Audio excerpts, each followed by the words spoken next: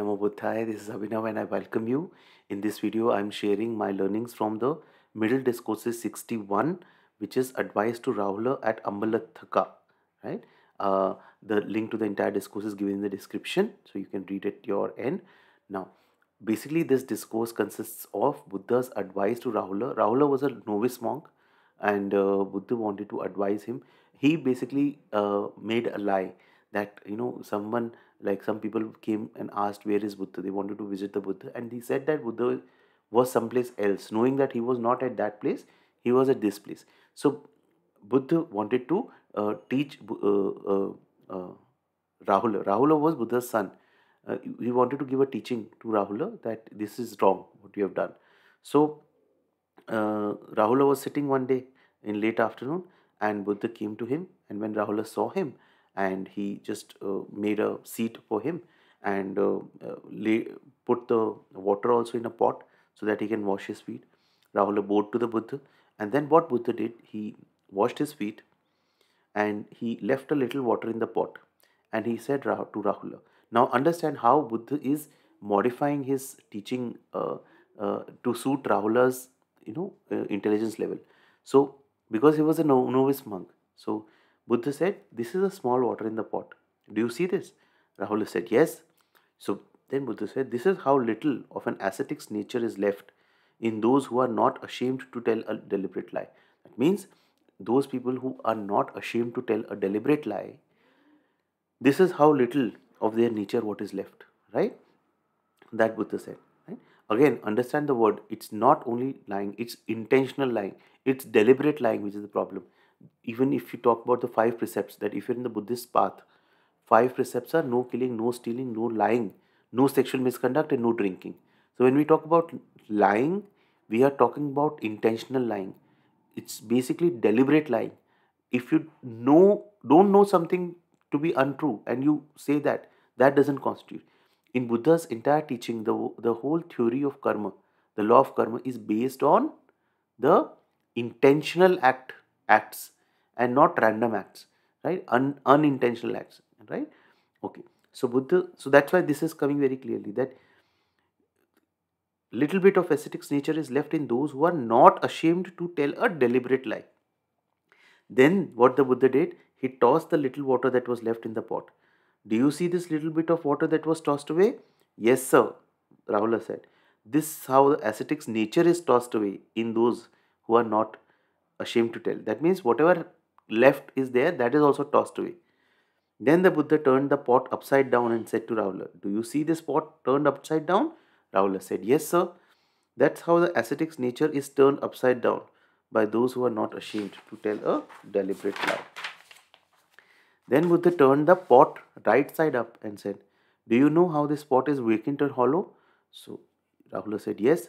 That's how vacant and hollow the ascetic's nature becomes in those who are not ashamed to tell a deliberate lie. That means those ascetics who tell lies, their nature becomes a,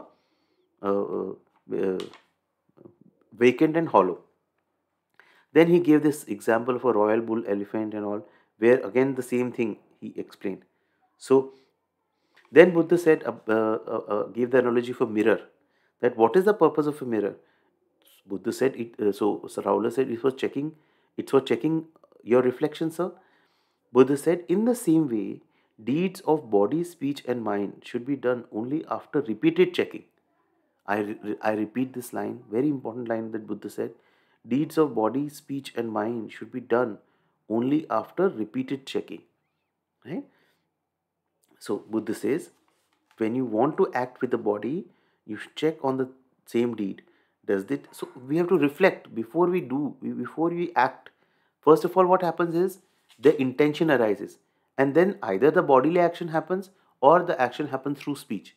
But the first thing what happens is the intention in our mind. So when that intention comes in our mind, so this is basically mindfulness of intentions, right? So when intention comes that I want to do so and so thing, so Buddha asked us to reflect: Does this act with the body that I want to do, or it may be speech, right? leads to hurting myself, hurting others, or hurting both? Is it unskillful with suffering as its outcome and result?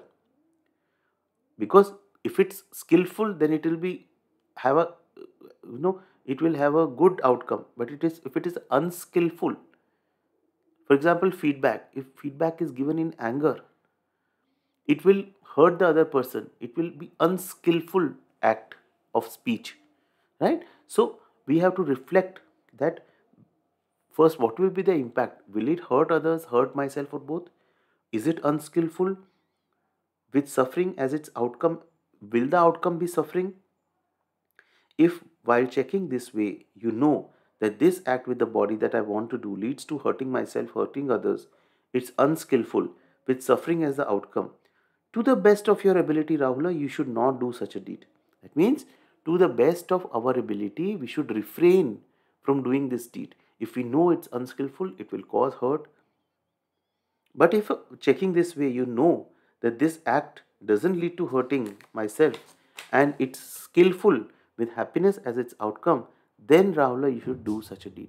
So, friends, if we evaluate only this para, right, and I, I ask you to go through and read this discourse at your end, only this para, we will reflect that we 90%, I mean, no, it's not even 90%, it's 99% of what actions we do. We are not mindful of our actions. We, we are not mindful of our intentions. Actions come later on. We are not even mindful of our, and this is very subtle.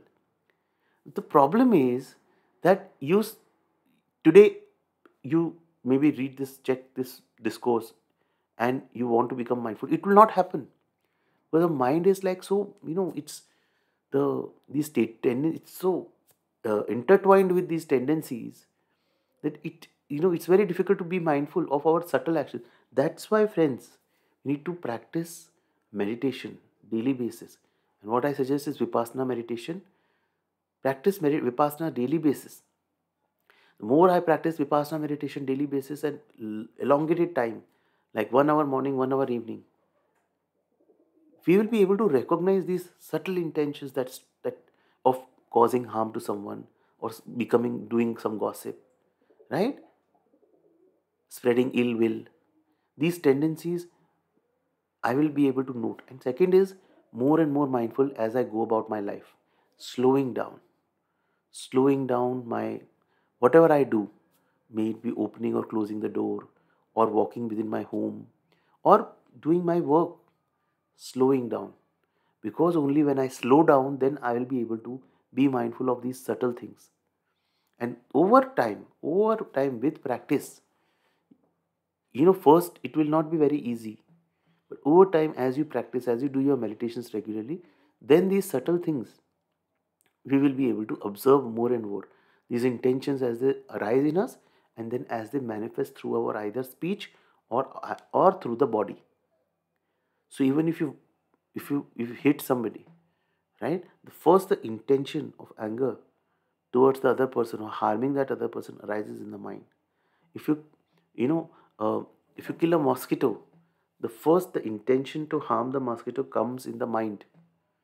So becoming more and more aware of these intentions that arise right? So that is what buddha said that see if it is hurtful unhurtful skillful unskillful and then decide whether to do. If it's hurtful restrained if it is skillful then do. Then again buddha said the same thing about acting with the body. Then so they basically buddha says about threefold awareness right? So what what threefold awareness? Of three things. Of the intention body and speech. Intention speech and body. Three things you need to be and at three points also buddha said we should be aware. What what point?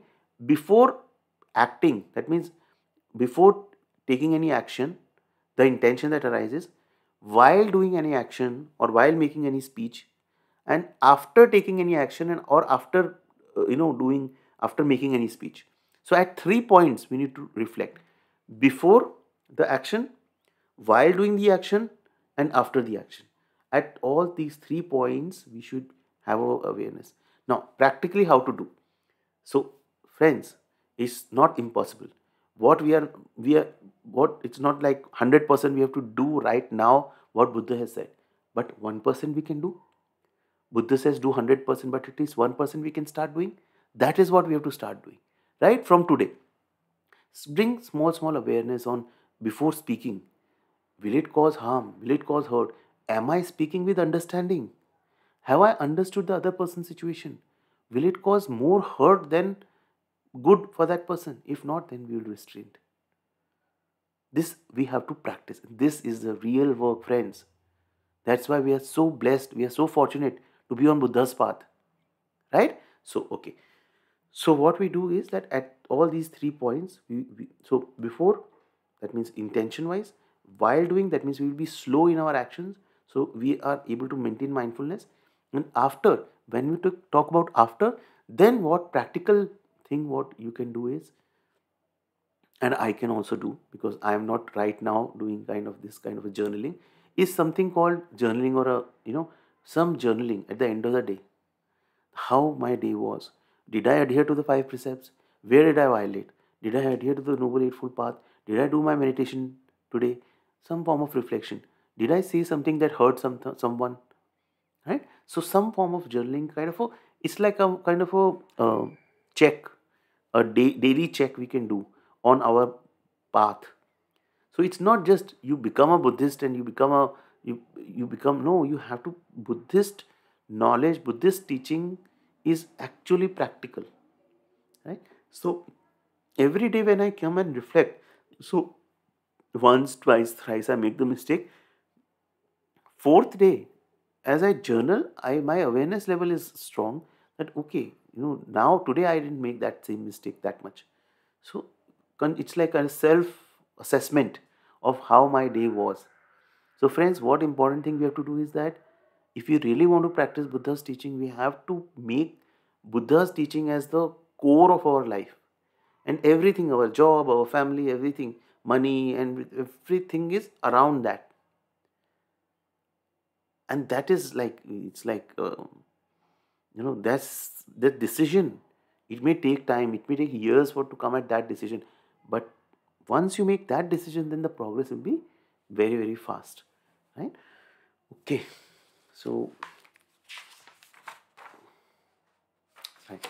so just to end the basic thing that buddha says that all the ascetics and brahmins of the past future and present who purify and this is deep this is very important statement buddha says all the ascetics and brahmins of the past future and present who purify their physical verbal and mental actions do so after repeatedly checking. So, Rahula, you should train yourself like this. I will purify my physical, verbal, and mental actions after repeatedly checking. This is what the Buddha said. Satisfied, Venerable Rahula was happy with what the Buddha said. Right? So, a wonderful discourse of a father giving a teaching to his son, and we are so fortunate to be able to come across this discourse and apply to whichever way in our life right? So please do reflect on this do read the discourse do share your insights in the comment section. Thank you so much for watching this video. Namo buddhaya namo buddhaya